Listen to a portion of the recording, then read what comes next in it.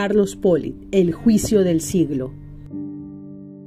En 2017, Carlos Poli declaró un patrimonio de 174 mil dólares, pero la justicia de Estados Unidos determinó que recibió más de 10 millones de dólares en sobornos. Aunque no se sabe cuál es su real patrimonio, el ex contralor de las notas perfectas y que se llevó los aplausos de ciertos políticos ya pagó una fianza de 14 millones de dólares.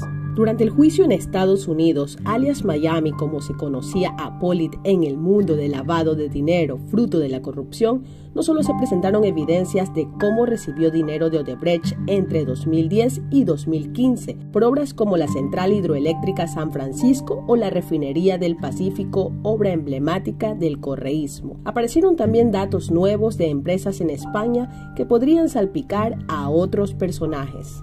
Lo que sucedió en este juicio eh, nos han dado nuevos nombres y nuevas transferencias en España, por ejemplo. Hay nuevas empresas que han salido a la luz que no las teníamos antes.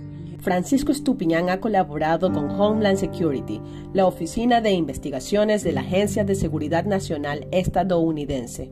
Explica que los nuevos datos de empresas en España darán mucha tela que cortar y que Fiscalía debería estar ya detrás de esas pistas. Pero ¿de dónde salió Carlos Polit? A finales de los años 70 era un funcionario de cuarta categoría en la aduana, cargo en el que estuvo 10 años. Luego apareció en 2003 como hombre duro del gobierno de Lucio Gutiérrez.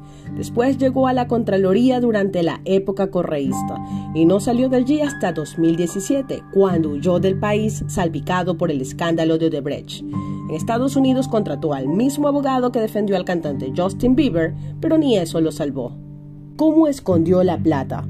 ¿Qué testimonios lo hundieron? ¿Qué pena le espera y por qué guardó silencio? Encuentre el informe completo en la última edición de Revista Vistazo, ya en circulación.